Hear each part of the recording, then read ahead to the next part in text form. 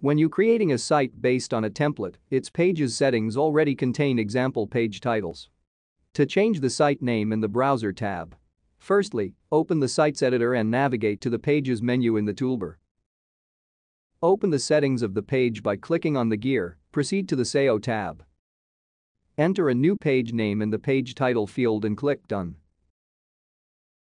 Don't forget to publish your site for the changes to appear live. To improve the SEO optimization of your site, we recommend adding a unique title for each page of your website.